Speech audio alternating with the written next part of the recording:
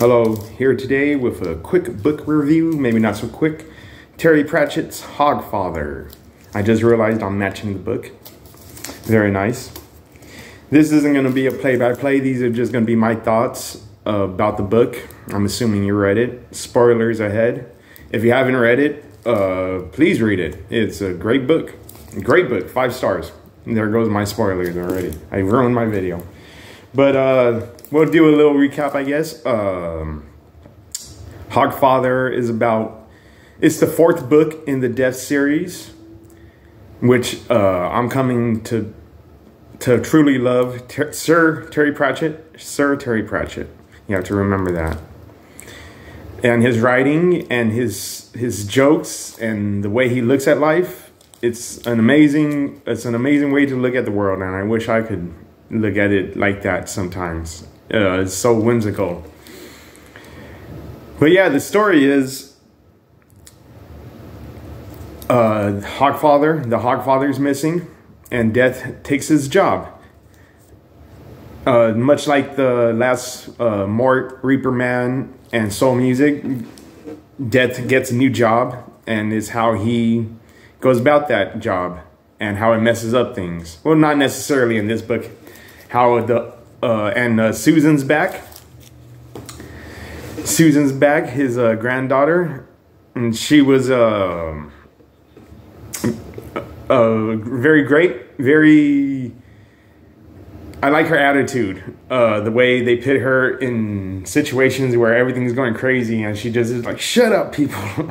Stop talking like that. This is a time to be serious." and just the way he writes. Uh, but at the beginning, the auditors are back. We haven't seen them since Reaper Man, I believe. So I almost forgot about them until they remind me. Yeah, I think they were the big bad in this uh, story, and I really enjoyed that. That we, uh, I enjoyed that there's a, a whole through line. I didn't know that it was gonna. I knew it was the Discworlds were uh, made up of uh, standalones and I didn't know that the series was going to be so continuous. So that was good that the auditors are back, Susan's back.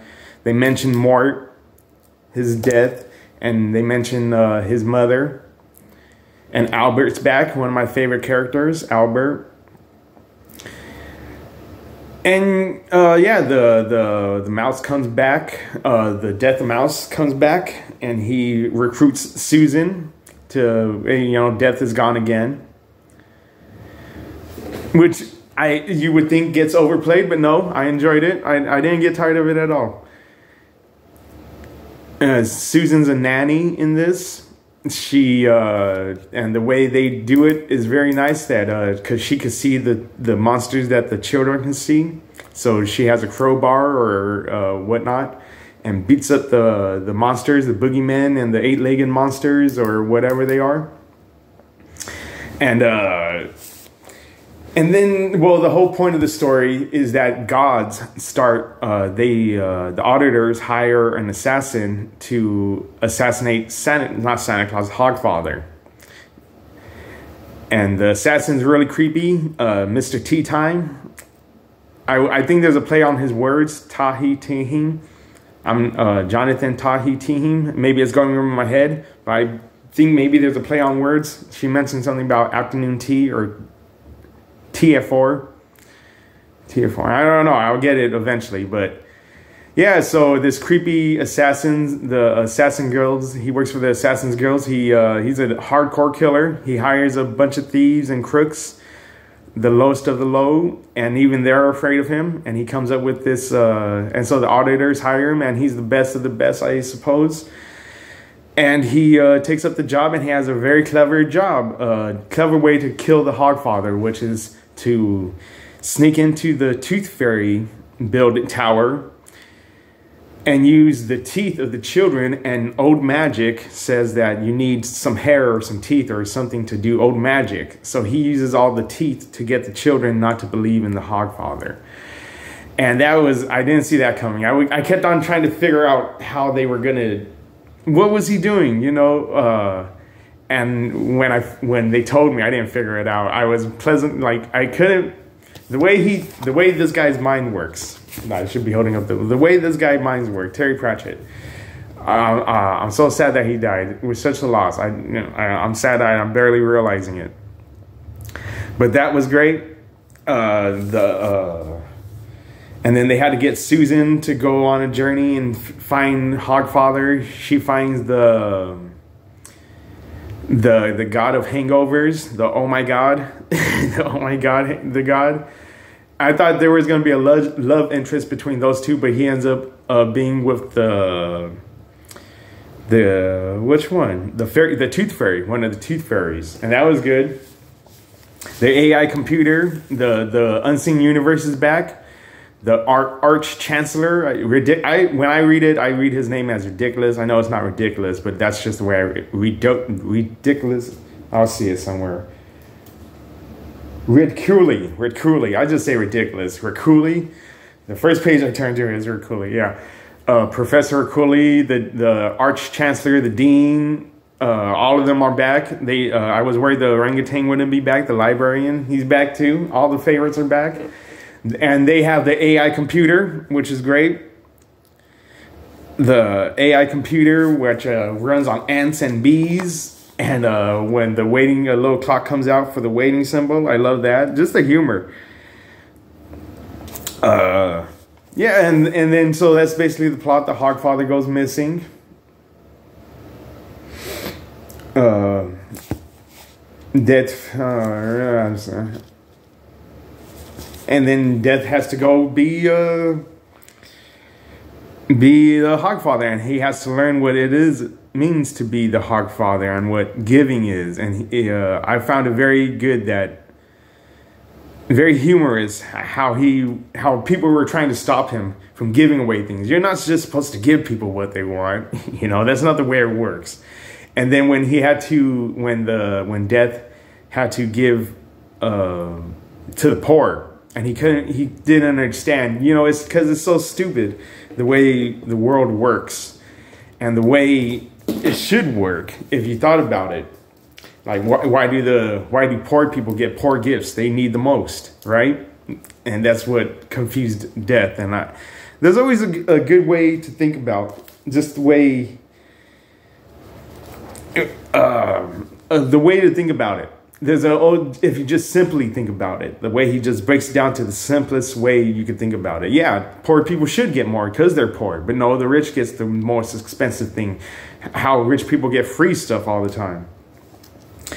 Even uh, the restaurant when uh, death gives there's a, a scene in here when death gives the homeless people food that he stole he basically stole it. He acquired the food from a fancy restaurant. And then the fancy restaurants were like, well, what do we have? Well, our shoes are made of leather.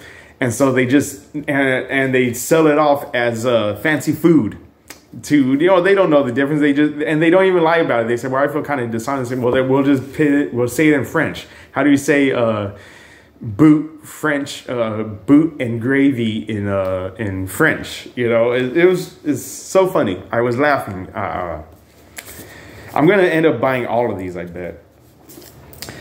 But uh, the death and uh, Susan eventually track down uh, the assassin uh, to the Tooth Fairy, the Tooth Fairy Tower, and uh, they have a they split up and they fight well they don't fight the the the, the group of thieves. They kind of defeat themselves because their imaginations their monsters in their imaginations kill themselves. Not they don't kill themselves but the closet that the guy was afraid of as a child or the scissor monster or uh, one of them uh, afraid of his mother. I can't remember what story it was but it's not in this but you can always know somebody's a good person by when they talk about their mom you know? Like my mom used to talk to me like that too. We're gonna be friends Not in this book. I can't remember which one, but it made me think about that. And uh, they even had a fake out with the with the assassin when Susan pushes him off or he falls off the tower. She kicks him off. They were dangling off, and she kicks him off, and uh, he gets teleported or he dies, but he's not really dead to the unseen university. And he gets up and chases after, goes to try to kill Susan again And then, you know, heroic moment, the last battle, they Susan sticks the crowbar in him. Or the poker. The poker, that's what it is, the fire poker. Yeah, just an all-around good, solid book. Just another win for Terry. I think this probably it's a it's a I know it's a holiday book, uh, but I'm just reading it in order. Fourth book in the Death series. Uh, and I just got done reading it. If everything sounds jumble, I should make a uh, a proper review. But I like these just the way I'm doing it now. I really enjoyed Terry Pratchett. Let's just get down to it. I'm really enjoying Terry Pratchett. I'm probably going to end up buying all of the. I think this is book 20. So I, I and and that's probably. Uh, I think I'm missing some things in these books because they mention some things that happened in the other other places on, on the Discworld, and I'm thinking those things are probably in the other books that I just missed. If I, I would know the reference if if I read those other books. But I'll look into which series. I'm probably the Guards or the Witches series. I'll start next. Or I got a big TBR. But all around, five stars, five stars. Please read if you don't. If you didn't like this, I don't see how, I, I don't know what kind of human being you are if you didn't smile while reading this. Uh, a couple of my favorite quotes, I guess. I put these bookmarks in here for a reason. Just for experience. This cat see. Am I saying never? Oh, uh, just a little good quotes I saw. Never take the lot and run. Take a little and walk. Just, uh, yeah. or, what was it? It's from nights. Or when uh, the Hogfather was playing Santa in the mall.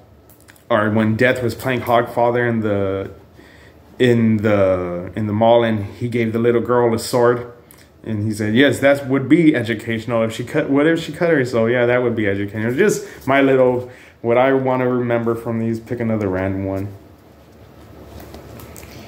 What's going on here, whoever you are?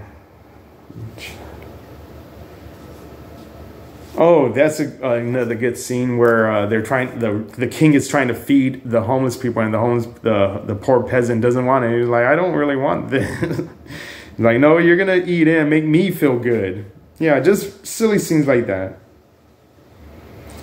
And no, uh, when they're trying to tell death how things are supposed to go, and he says, "No, you mean this is just how it goes. This is the way you make it." I love this book. I love Terry Pratchett. The the undertones of capitalism. There's the the the cop in, in the story where he's talking about he's religious and he's trying to talk to his friend. The other the sergeant noob i think his name was. I think he's a character in guards guards. But anyways he's he's you know he's telling his partner oh it's too commercial and you know uh, it was just yeah it's true though. A very good christmas story in march now thank you for watching. Like and subscribe. Those are my thoughts